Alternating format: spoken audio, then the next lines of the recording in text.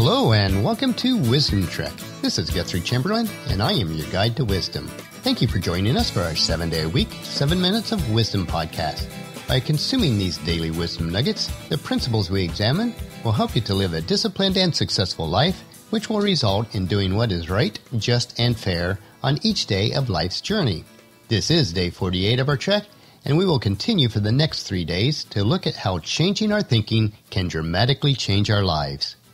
We are recording our podcast from our studios at Home 2 in Charlotte, North Carolina. We are focused on our client work and are also preparing to head back to the big house on Friday. By the time this episode is released, we will be in Marietta and then heading north to the Akron Canton area for the annual Rob reunion, which is Paula's mom's maiden name. We try to attend every year if we can. Family ties are important and it is a good time to celebrate together. I will give you an update in a few days of that day's activities. The hiking analogies that we use for Wisdom Trek fit so well with our trek through life each day. It is when we take one step at a time, over a long period of time, that we make the progress that we desire. Being on life's trail allows you to truly experience the full spectrum of human emotion, sometimes all in one day. A moment of frustration and despair is seamlessly followed by some peace and beauty, and so it is with life. Just like hiking, we need to plan and also take time to think and rest. So far, we've stopped at waypoints 1 through 7 on this segment of our trek to analyze our thinking so that we will become more wise and successful. And today we're going to look at waypoints number 8 and 9. But before we do that, we ended our podcast yesterday, and I asked you to consider two more questions. Question for waypoint number 6 was Am I unleashing the enthusiasm of possibility thinking to find solutions for even seemingly impossible problems? And our question for waypoint number seven was Am I regularly visiting the past to gain true perspective and think with understanding? I do encourage you to consider these questions each day and apply them to your lives. This will help you to change your thinking and to start down the trail to a changed life. One of the benefits of hiking on trails is that they are not used frequently and we do not have to compete with the masses of people as you would on a busy thoroughfare. This also applies to waypoint number 8, where we have just arrived. And that waypoint is to question popular thinking. Question popular thinking can be challenging, but there are valid reasons for you to do so. When people follow a trend, they usually don't give it much thought.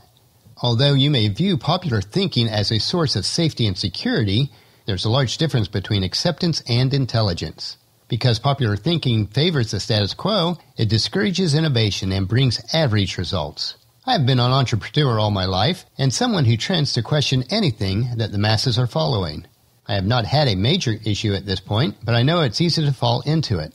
So here are five different ways that you can question the acceptance of popular thinking. First, think before following. You need to consider what is best rather than what is popular.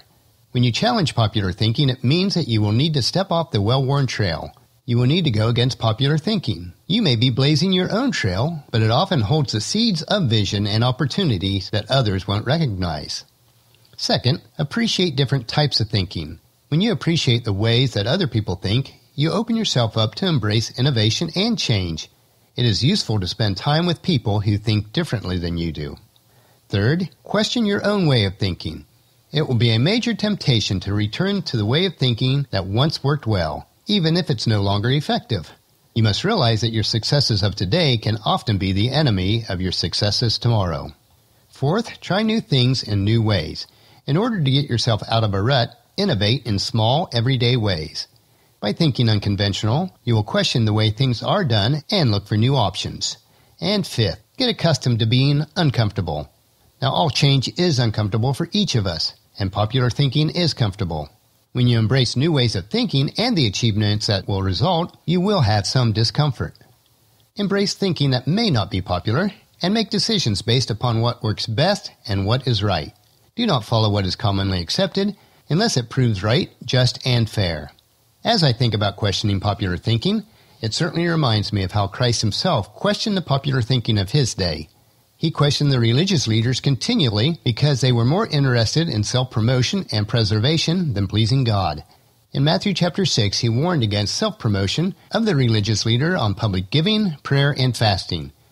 In Matthew chapter 22, 16, the religious leaders themselves, when they were trying to trap Christ, proclaimed the truth. Teacher, they said, we know how honest you are. You teach the way of God truthfully. You are impartial and don't play favorites. So our question at waypoint number eight is, Am I consciously rejecting the limitations of common thinking in order to accomplish uncommon results? So let's move on down the trail a bit to waypoint number nine. And it is benefit from shared thinking. When you seek out and value other people's thoughts, you can accomplish more than you can alone. Shared thinking is faster, more innovative, and stronger than solo thinking. The ideas that result from your shared thinking benefit both you and those that you are sharing with, which brings greater value overall. To benefit from shared thinking, there are five different things that you can do.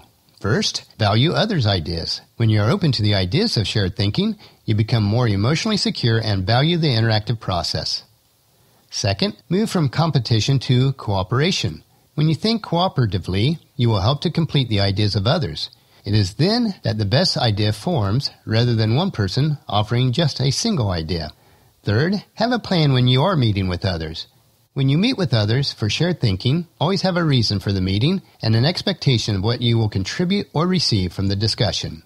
Fourth, meet with the right people. Do not choose shared thinking partners based on feelings of friendship or convenience.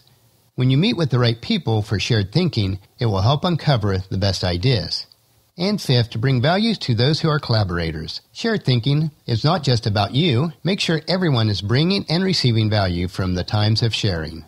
Shared thinking is clear throughout Scripture also. One passage that comes to mind is Matthew 18, verses 19 and 20. And Christ said, I also tell you this if two of you agree here on earth concerning anything you ask, my Father in heaven will do it for you. For where two or three gather together as my followers, I am there among them. Shared, but not necessarily popular thinking is crucial for wisdom and success. So that brings us to our question at waypoint number nine, which is, am I consistently searching the minds of others that think over my head and achieve compounding results? We need to learn and then adopt the thinking habits of wise and successful people. Thinking that questions the popular, but shares with the wise. As your guide, friend, mentor, and fellow sojourner, let me know how I can help to foster within you so that you do not fall prey to popular thinking, but instead shared thinking with those who are wise and successful.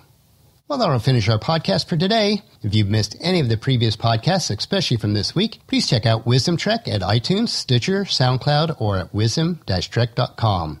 Tomorrow we'll continue our trek to investigate waypoints number 10 and 11 as we continue to change our thinking, which will literally change our lives.